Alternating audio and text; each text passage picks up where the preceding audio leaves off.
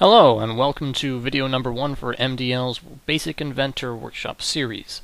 Uh, today I'm just going to be, if you if you look on my screen here, I'm going to be making this lovely part on my screen. Um, it's just gonna we're just gonna go over some basic uh, sketching techniques and a few tools such as the hole tool, making threaded holes, um, as well as fillets and uh, creating unique shapes in Inventor. So let's dive right into it. So first off, from your home screen, from your home screen here, we're just going to go up to New, and we're going to make a standard millimeter part, which is usually what you're probably going to do um, in your in your own labs in 1C03. So let's just go ahead and make that standard millimeter part. And we should get a screen something like this. Yours might be a different color than mine. Don't worry, that's just me screwing around with the color scheme. So, um, if I go back to my part over here, we want to be making a shape sort of, we're going to start with the basic shape, the basic outline of this, which kind of just goes around the circles and these outer lines here. So, Inventor, uh, so actually right away, we're just going to go up to, um, hopefully you do know that everything in Inventor um, needs to start out as a 2D shape, and then we pull it and distort it to create different 3D features.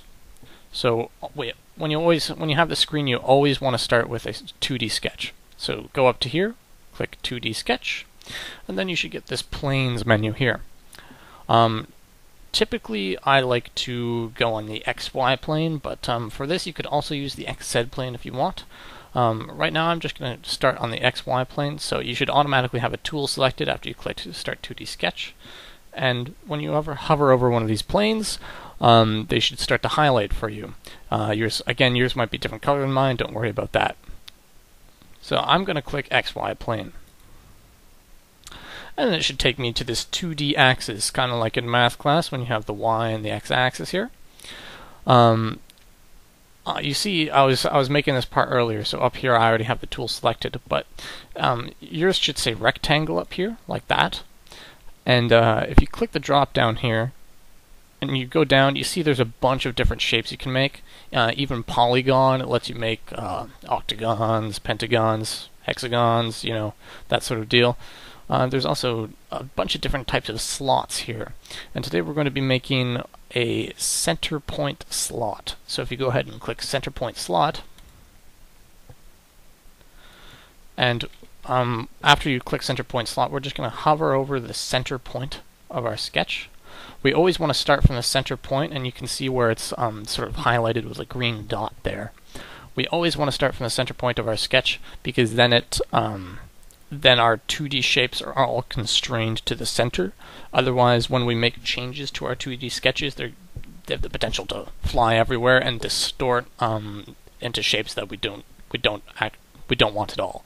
Um, so let's just go ahead and click the green dot in the middle. Then you'll see I can just um, then it just turns into a line here. But don't worry about the line. We're just gonna place it somewhere along the x-axis, and then we can just create uh, create the slot. Um, you'll see after you after each time you click, um, a new shape will sort of pop up, and eventually after two clicks, you should be uh, you should be at this point.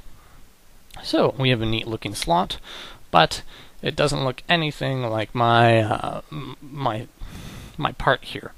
So I'm going to go back to here, and so basically we need to change um, the dimensions of this so that it better suits this image, right? So, um, first off the bat, first thing off the bat, the circles are, if you look on my original part here, the circle on the right side is actually a bit bigger than the circle on the left side here. Um, do pay attention to uh, the dimensions I'm about to put on here. Um, but first, if you actually go up to Dimension Tool, if we click on Dimension Tool, and then we click on one of the circles here, you'll see that it um, uh, a number comes up, 2.768. And if we just take that out, um, place it down, you'll see it'll let us edit our dimension here. So it's got like a, some super long arbitrary number in here. I'm going to make it 8 millimeters. Go ahead and change that to 8 millimeters. Click Enter or click the checkbox. and you should see that it becomes much larger on your screen. um, but here's the thing, if we try and go, uh, you see how these circles are different shapes? If we try and go to change this now, it, will show up as 8, and it, when, when I click down and try to change the dimension, it won't let me.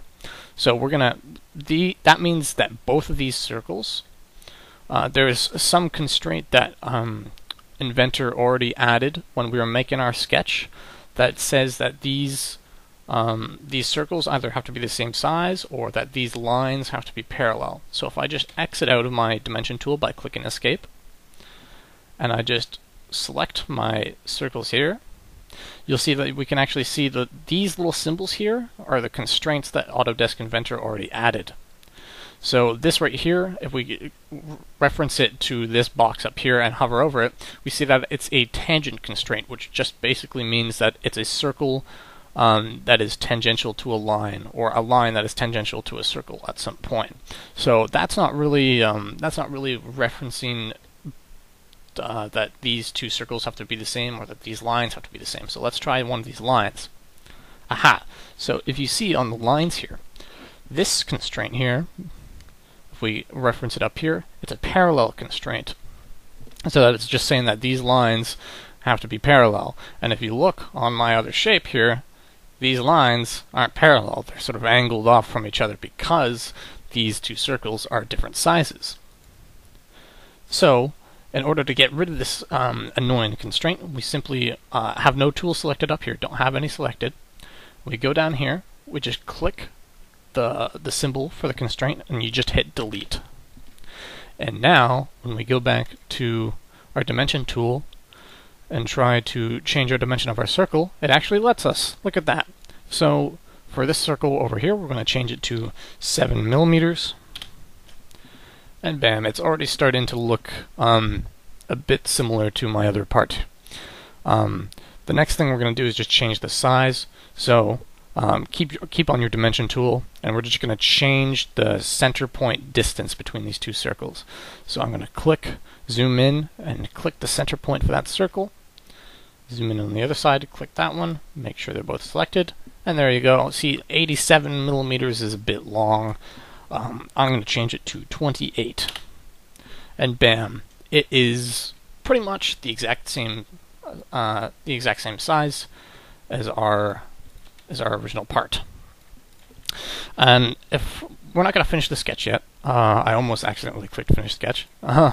So uh, instead of doing this later, we're actually going to add. You see this little tab up here, this, this tab thing. We're actually going to add that into our sketch right now. Um, it's there's a bit there's a bit of a different technique you have to do for this. So I'm just going to start it off by doing a line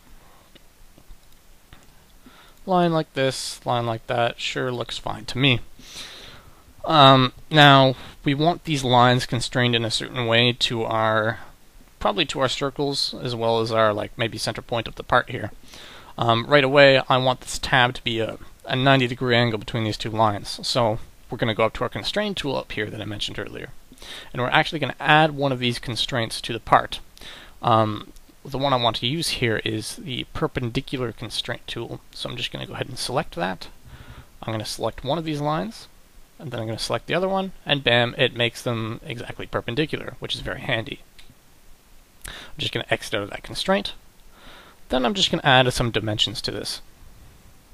You'll see when I click the line here, it wants me to to add the dimension like this, which is like it's nonsense, right? Like you don't really you don't typically want to dimension something like that. So if you hold right click on your mouse, just hold it, this menu should pop up.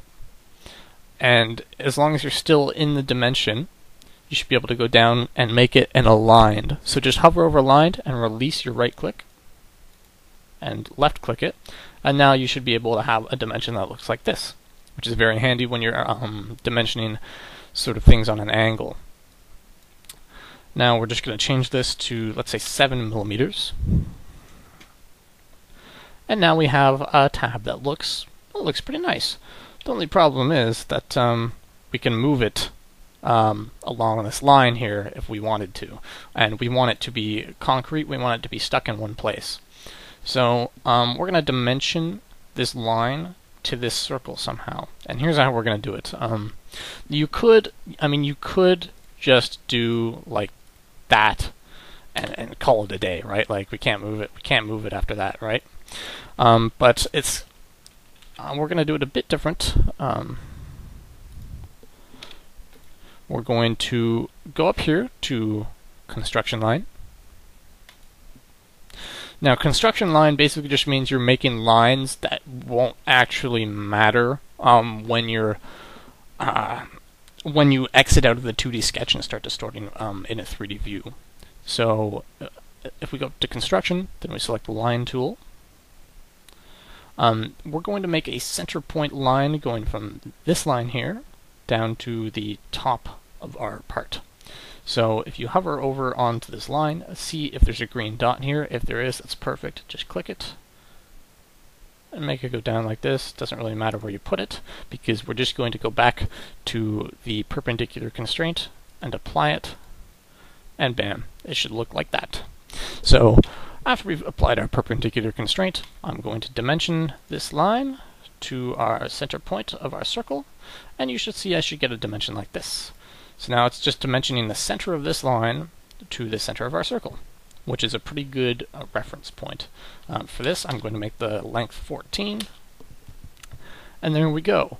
This is our finished sketch, our finished base sketch for our part.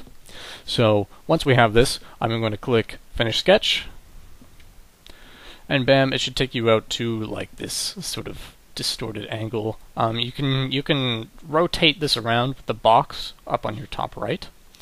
Um, there's another way you can rotate stuff. If you hold Shift, and if you're using a mouse and you middle click with your mouse and just drag your mouse around, you can actually um, spin it around like that, which is very handy as well.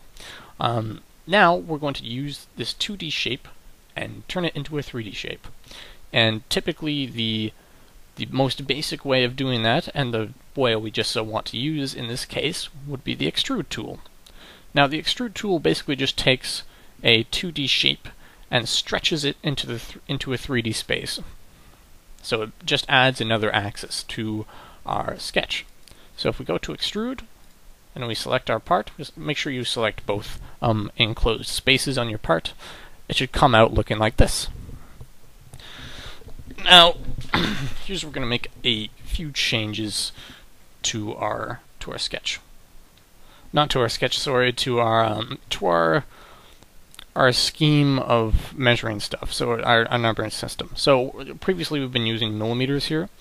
Um, but for manufacturing 3D parts, a lot of things come from America, which use inches, which is not very handy to us, but it's something you kind of have to live with. And when you go into upper years, you will, in your physics classes and your math classes, you will start using pounds and inches uh, periodically. So that's just something you should think about. Um, if you ever want the the conversion between inches and millimeters, 25.4 millimeters is one inch.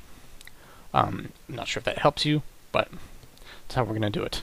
Um, so for manufacturing this part, let's say I want it as one quarter of an inch, so 0.25 inches. Why didn't that work?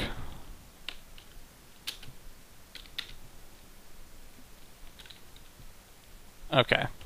So sometimes it works if you put um if you put the the quotes there, but sometimes you have to actually type inch into it. So once we've extruded it out like this, just click OK, and we should have our part looking like this.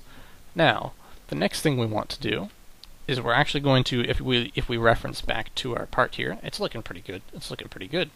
So you'll see that we have two holes on either side here. Those are the next features we're going to work on. So, um, in order to make these holes, you can there's two ways you can do you, there's two ways you can make holes in Inventor. If you wanted to just make a simple through hole, um, you could use the extrude tool and cut away space from our already created space um, by like sketching a circle and then extruding it away from the part. Or you could use the hole tool, which sounds much simpler, but it's actually more complicated. So um, we're going to use the hole tool. It's not that complicated. Uh, I don't know why I said that. Don't worry. We're going to go up to 2D Sketch. We're going to click on our face there, And now we should be able to sketch on, on the top face of this part, on that face, right? You can see where the lines sort of come off of it. So I'm going to go back to front view, and then I'm going to go to point. And I'm just going to make a point somewhere on this on the x-axis just to make it easier on myself. And then I'm going to constrain that point um, to have a zero distance between the center of our outer circle here and the point so that it's concentric when we make the hole. Once I've made that point, I'm just going to click Finish Sketch. I'm going to go to Hole, and now it's going to let us make a make a hole. So I'm just going to pull my hole tool out over here. Um, for this hole, we just want a simple we want a simple hole, right? Because like look at this, there's no thread on this. This one is threaded. We'll do that after, but this one is just a simple through hole. So um, make sure you go. Your hole menu here might look different than mine, um, but just go to find where it says termination and then select through all. We're also going to make uh, we're also going to apply inches to this hole as well. So I'm going to make it 5 sixteenths of an inch. And this time the quotation marks actually did work, which is nice. Um, now, this is actually all we want for our tool. So once your hole uh, preview starts to look starts to look like that, just click OK, and that hole is done. Now we're going to do a hole on the other side. It's pretty much you started out the exact same way. Go to 2D Sketch, place a point down somewhere on the x-axis, dimension it, 0, finish sketch, hole tool, it automatically selects it, which is very nice. Now this one, we're actually going to apply a thread to it. Um, so we're going to go up to, make sure you, under hole type, you go to tapped hole. And we're going to select the point, uh, wait. Actually, we're going to go up to change the thread type to ANSI metric M profile. That's just to use the metric profile for your screws, um, so we don't have to deal with inches. So we're going to make it size 8, designation M8 by 1.25. Um, let me see what else. Mm.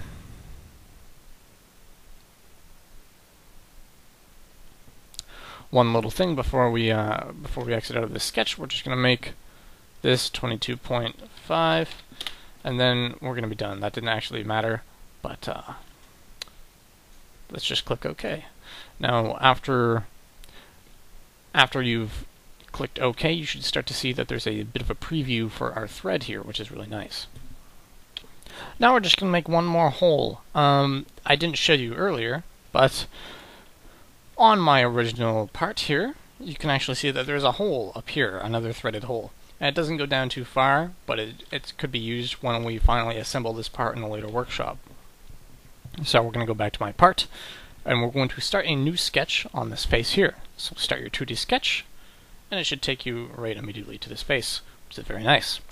And then right away, we're actually going to do something called project geometry, which brings out the lines, the sort of outer dimensions of our sketching face, which is very nice as well. I don't, I keep saying that. So let's go up here. We're going to go up to construction line because we're going to, we want to put a, we want to point, here, I'll, I'll go back. We want to put a point somewhere in the center of here, right? Now we could just let Inventor do it for us automatically, but it's a bit unreliable. So, uh, I'm going to go back up to construction tool. I'm going to make some construction lines that just go through the center of our square. Then, once I've made my construction lines, I'm going to make a point right directly in the middle here. Perfect. Now, when I go to Finish Sketch, I go up to Hole Tool, it should automatically select, oh my god, look at that travesty. It really wants us to, it wants it because it kept the, uh, it, it, it kept the the features, the the sizes and everything from our previous hole. It'll do that. Inventor will do that every time usually. So we're just gonna right away we're gonna change the size of this hole to make it look less devastating. we're gonna go up to ANSI Unified Screw Threads um, as our thread type. Then under Size, scroll up to where it says 0.125. A number five screw uh, is what they'll be called when you go to buy them in the store. And the automatic designation for mine is 540 UNC, which is fine. Uh, we're going to keep that. under um, thread depth, I think we're I think we want let's let's just change thread depth to three here, which which seems pretty nice. Um, we're going to change the termination back to distance, and we're just going to make the distance five. Oops. Make sure the thread changes afterwards too, otherwise it will it will have a fail. The thread depth obviously needs to be lower than the actual hole depth. Um, so once you've done that, you can actually click OK, and our final hole is in place.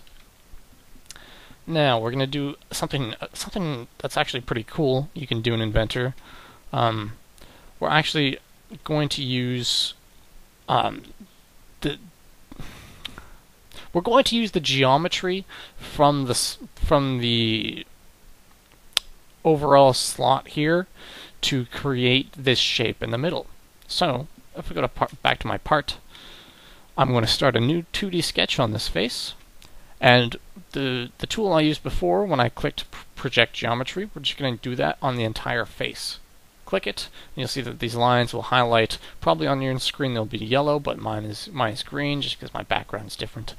Um, once you've projected geometry, we're going to go up to under under the Modify tab. We're going to select Offset.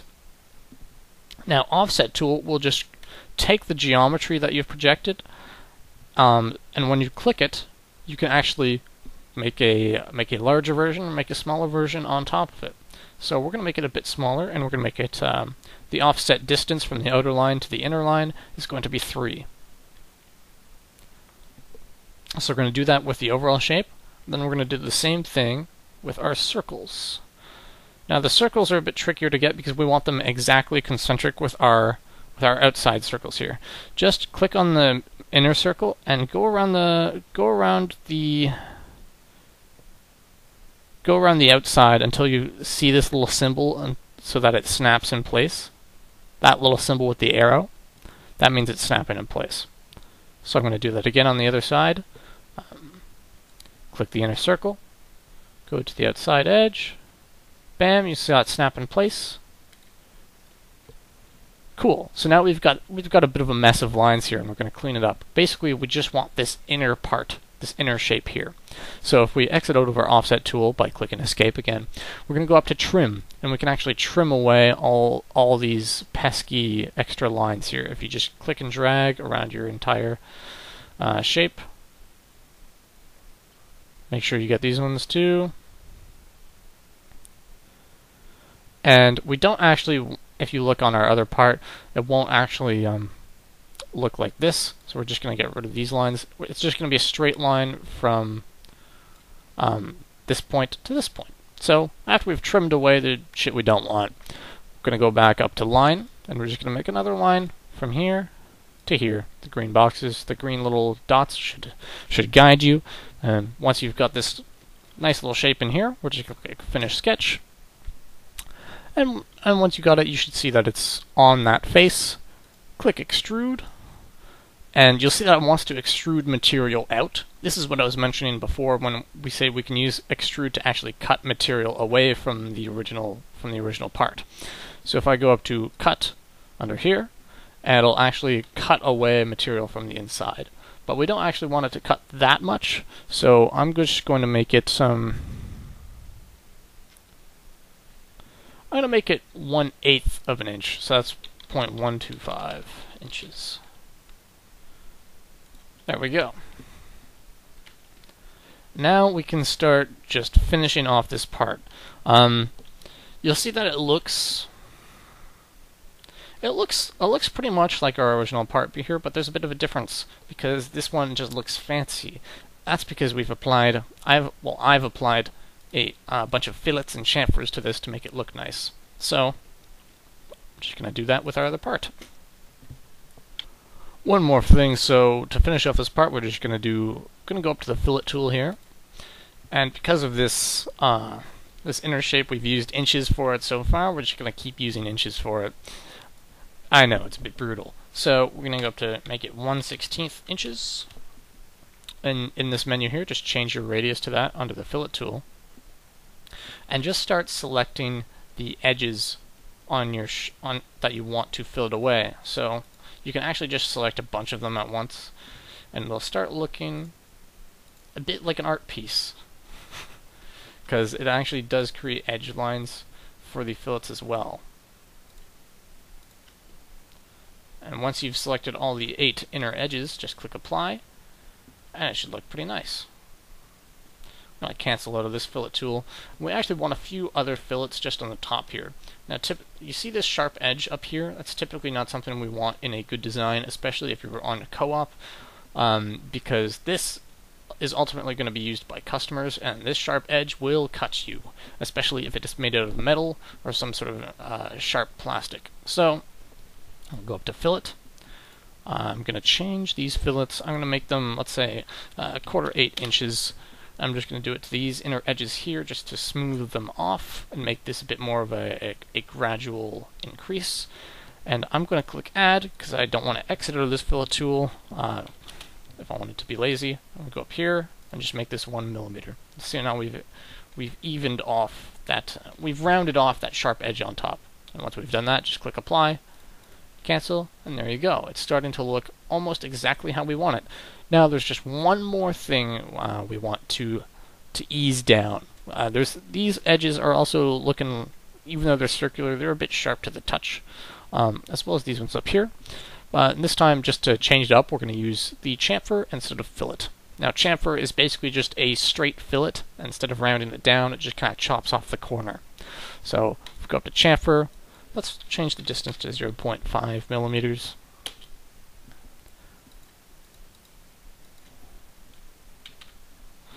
And then if we just click this edge, we click this edge. Um, I don't think we. I don't think there's any other edges we need to fill it down. Uh, no, no, that looks good. Just hit apply after you click those two edges, and there we go. Our part is complete. Uh,